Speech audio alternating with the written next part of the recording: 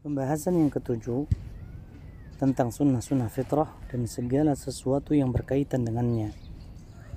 Penulis Hafizahullah Ta'ala menyebutkan di dalam pembahasan ini tujuh poin penting yang patut untuk diketahui oleh setiap muslim dan muslimah. Poin yang pertama tentang jumlah sunnah-sunnah fitrah. Rasulullah Sallallahu Alaihi Wasallam bersabda, sepuluh perkara yang termasuk fitrah memotong kumis, memelihara jenggot,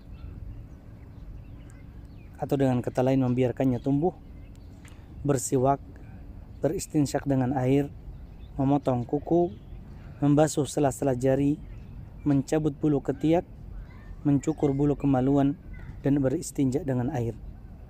Perawi hadis ini lupa untuk menyebutkan yang ke-10. Poin yang kedua, suka mendahulukan yang kanan.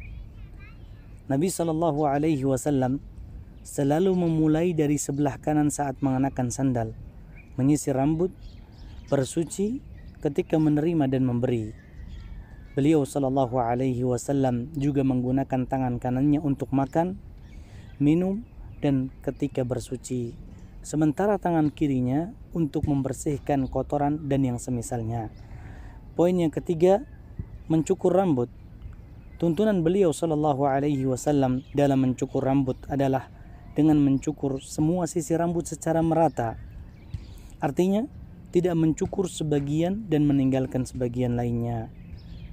Atau beliau tidak mencukurnya sama sekali. Poin yang keempat, bersiwak. Beliau Shallallahu Alaihi Wasallam suka bersiwak, baik ketika berpuasa ataupun tidak. Beliau bersiwak ketika bangun dari tidur, ketika hendak berwudu, hendak melaksanakan sholat, dan sebelum masuk rumah. Beliau Shallallahu Alaihi Wasallam bersiwak dengan menggunakan ranting pohon arak. Poin yang kelima, minyak wangi. Beliau Shallallahu Alaihi Wasallam suka memakai minyak wangi dan menyukai wewangian. Poin yang keenam, kumis dan jenggot. Rasulullah Sallallahu Alaihi Wasallam bersabda, selisihilah orang musyrik, panjangkanlah jenggot dan pangkaslah kumis. Poin yang ketujuh, penentuan waktunya.